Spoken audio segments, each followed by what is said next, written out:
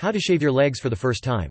Growing leg hair is a very normal part of growing up, and many girls and women feel more comfortable deciding to remove their leg hair by shaving. If you'd like to shave your legs for the first time, you first need to acquire the correct supplies, learn the proper shaving techniques, and then care for your legs following shaving. Choosing supplies. Use women's razors.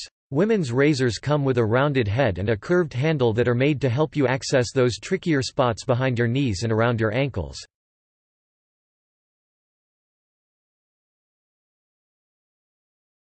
Pick a razor system. Razor systems are razors that have a permanent handle and a disposable razor head.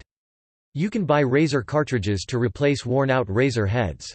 While these razors can be more expensive, they often have built-in moisturizers or lubricants, such as vitamin E, that are great if you have sensitive skin, too.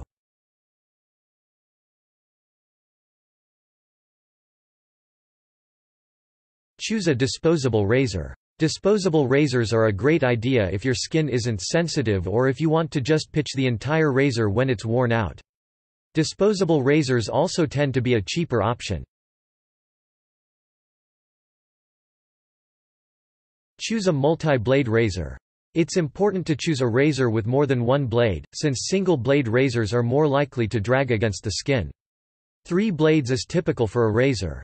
Razors come with as many as six blades. You should experiment and see what number of blades feel best on your skin.